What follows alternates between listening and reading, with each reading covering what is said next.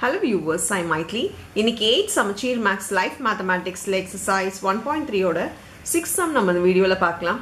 Question பாருங்கள் at what time will a sum of rupees three thousand will amount to rupees three nine nine three three thousand nine hundred and ninety three at ten percent per annum compounded ஆனுவலின்னு கொடுத்துருக்காங்க.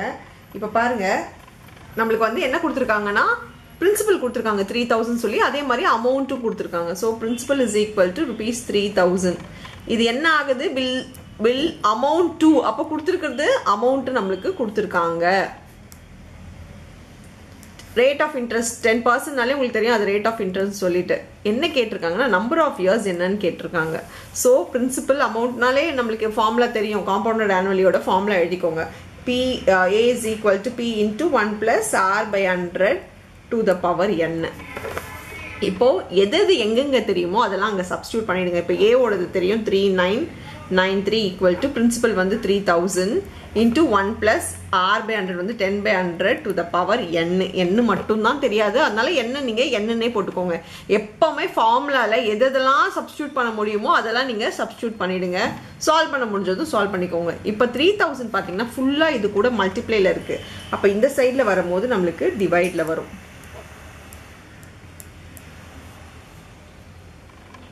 Equal to three thousand மட்டும்தான் மல்டிப்ளேயில் இருக்கிறது டிவைடில் கொண்டு வந்திருக்கேன் இங்கே பார்த்தீங்கன்னா என்ன இருக்குன்னா ten one by டென்னு இருக்கும். டென் ப்ளஸ் ஒன்று eleven ten plus one eleven ஆகிடும் எல்சிஎம் எடுக்கிறதுனால பை ஒன் இருக்கும்போது டேரெக்டாக அது மல்டிப்ளை பண்ணி ப்ளஸ் பண்ணிக்கோங்க.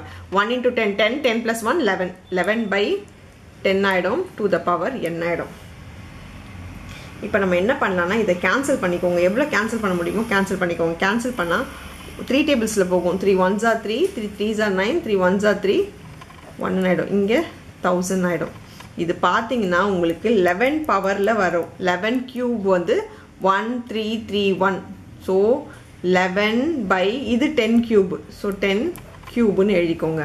இங்கே நான் என்ன இது எனக்கு எப்படி பண்ணணும்னு தெரியல. நீங்கள் பார்த்தோன்னே சொல்லிட்டீங்க அப்படின்னா ப்ரைம் ஃபேக்டரைசேஷன் போட்டு பாருங்கள் அப்போ தெரியும் உங்களுக்கு.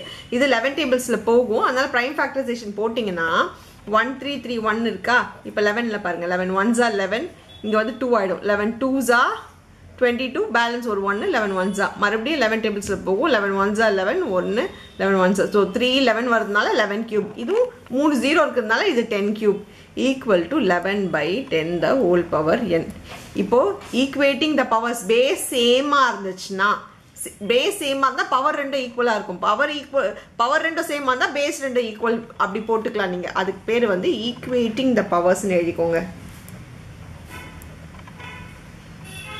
இப்போ என்ன இருக்குது மேலே? Three is equal to n அதாவது n is equal to three years number of years வந்து பார்த்திங்கன்னா த்ரீ இயர்ஸ்ன்னு சொல்லி இந்த சம்மை முடிச்சுக்கலாம்.